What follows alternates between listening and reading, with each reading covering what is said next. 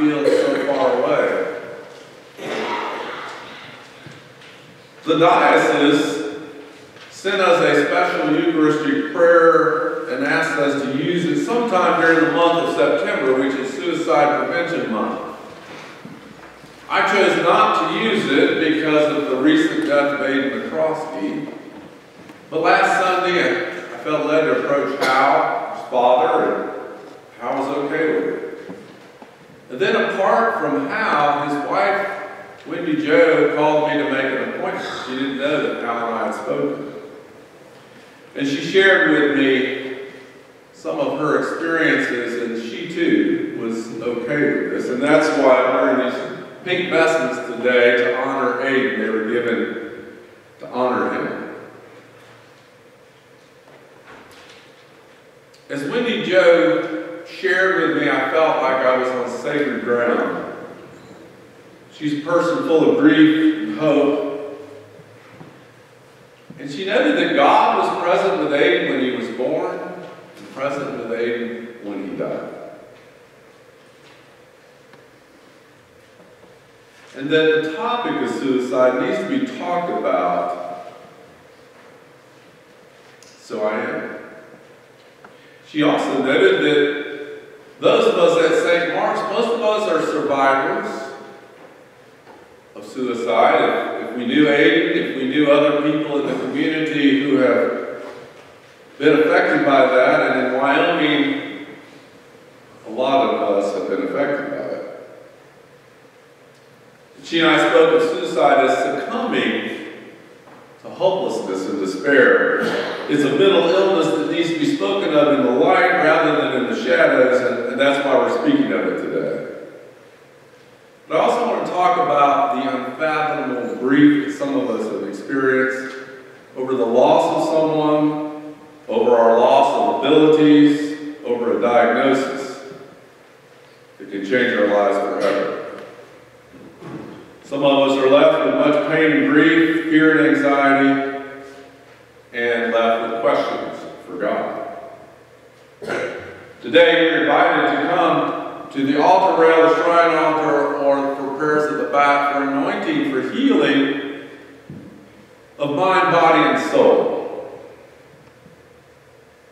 You will receive the bread, the wine, and anointing with oil if you like it. If you do not want to, I'll be anointing at the altar. Just cross yourself if you prefer not to be anointed with oil. It's an ancient Christian practice.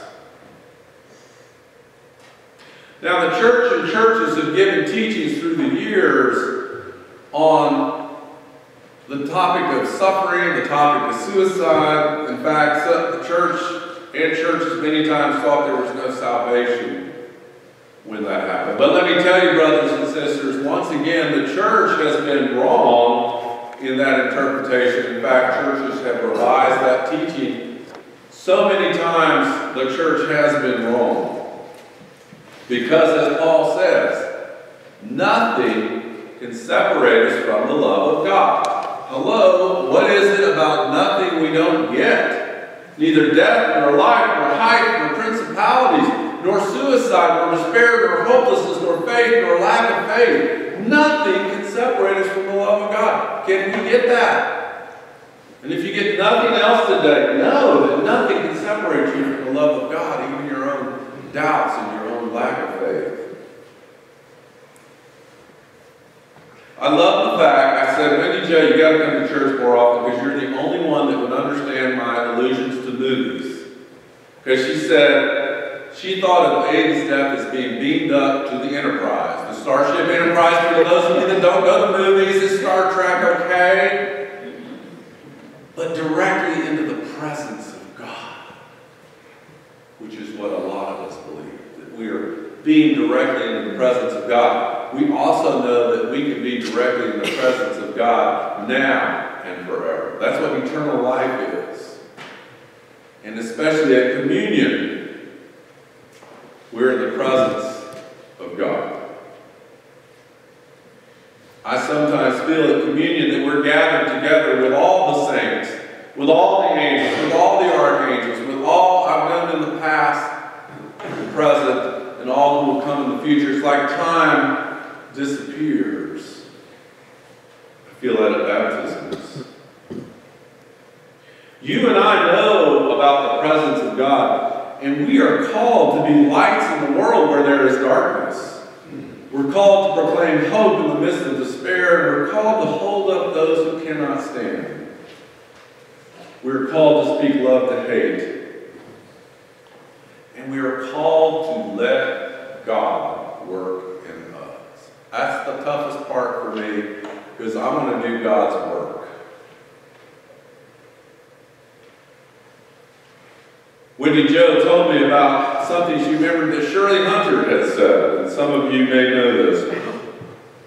Shirley would say, Give it all up to God and go to lunch. Love that. Give it all up to God and go to lunch. Give it all up to God. Give your emotions, your feelings, your doubts, your questions, your anger, your frustration. Give it all to God. And then let it go and go to lunch. Now that's easier said than done. And it reminds us that so many things are beyond our control and even our understanding.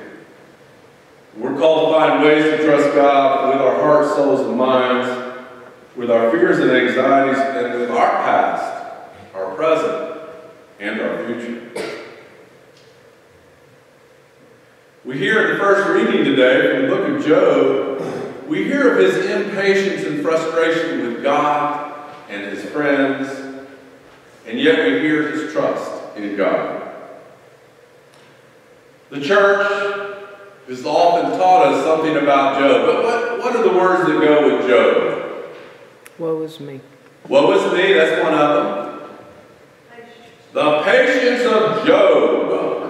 Oh my gosh, well, oh, that person has the patience of Job. Job was not patient. Once again, we get it wrong. You've not got to come here because I'll straighten you out on all the things that people have got wrong. I'm here to help you now. Job was impatient with God. I know that I'm innocent. I know that this suffering is not my fault, but his friends were convinced they offered him the platitudes we hear so often. And it comes out of a sense of the sovereignty of God. And when we say the sovereignty of God, we imagine the control of God. And I'm going to come back to what that control really is. There's that Calvinistic teaching. I better be careful in light of our church history class last week, with the Presbyterians saying exactly what that really meant. Please come today at 5 o'clock. Ben Thomas will be here to talk about how the church has gotten it right from 200 AD to the English Reformation and talk about the prayer book and lots of great things. Please come. It'll be our last session.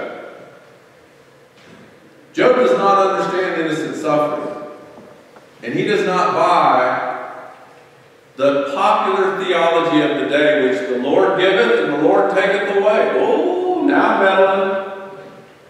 I know you, you traditionalists grew up with the 28 prayer book, and you know how the funerals ended in the 1928 prayer book. The Lord giveth and the Lord taketh away. God is in control of everything that happens, bad or good. And the whole book of Job is written to combat that theory. The book of Job is a minority report.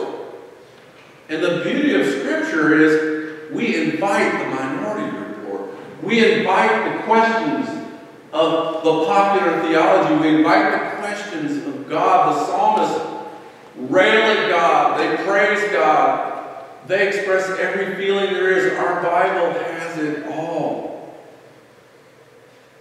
Even in the day of Jesus, the theology was the same. They walk by a person born blind, and Jesus' disciples say, What did they say?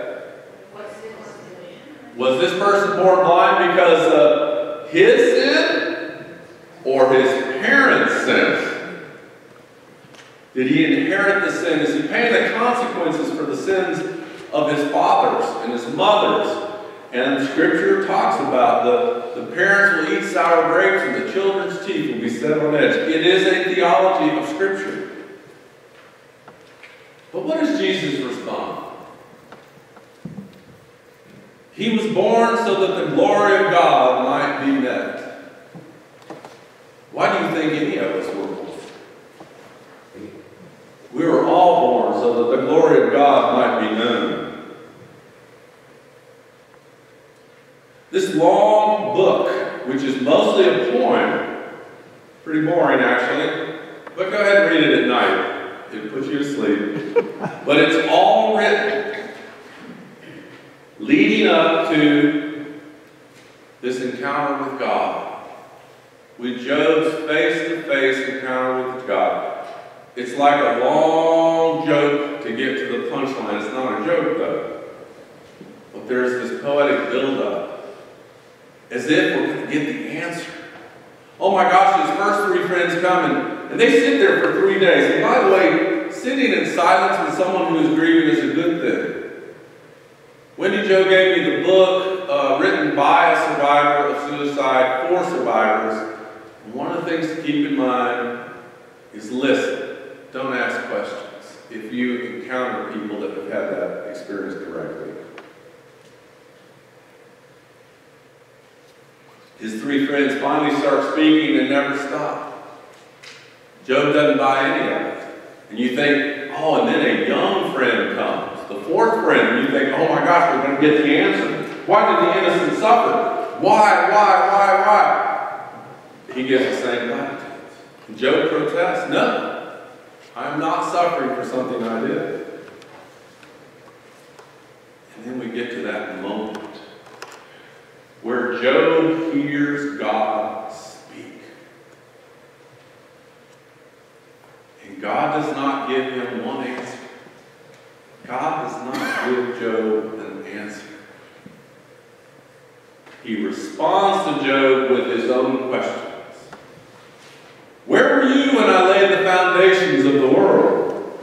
Where were you when I set the boundaries of the waters, the land, the, the air, the sky, the stars? Where were you when I created the Leviathan just for the fun of it, as one of the psalmists said? And then Job responds. It's not the response you would expect. But he's heard the voice of God. He feels that he's come face to face with God. For those of you who've had that experience of coming to face to face with God, is the peace of tr- it's a moment of peace trust and emptiness of all questions. For those of you who say, when I get to heaven, I've got a ton of questions for God. Come on, Raise your hand, you said it. the answer to your questions will be embracing. You may cry for a hundred years in Jesus' arms, but you will have no questions, because that love will be embracing you, and you will be at peace. Job says, Therefore I have uttered what I did not understand things too wonderful for me which I did not know. I had heard of you by the hearing of the ear, but now I see you face to face. Job does not get any answers, as to why the innocent suffer. There's only God's face-to-face -face presence. And that was enough for Job. The book of Job reminds us that our minds and our hearts are too small to understand the wisdom of God, the mind of God, or the heart of God. And sometimes we must do as Shirley Hunter says, leave it all to God and go to lunch.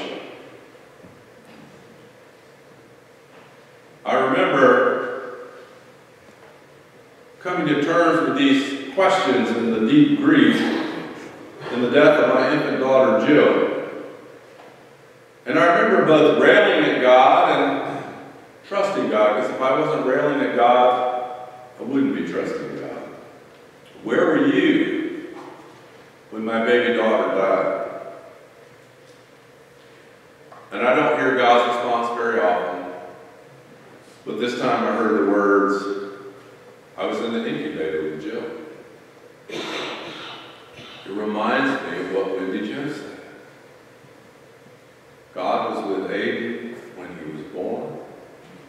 God was with Aidan when he died.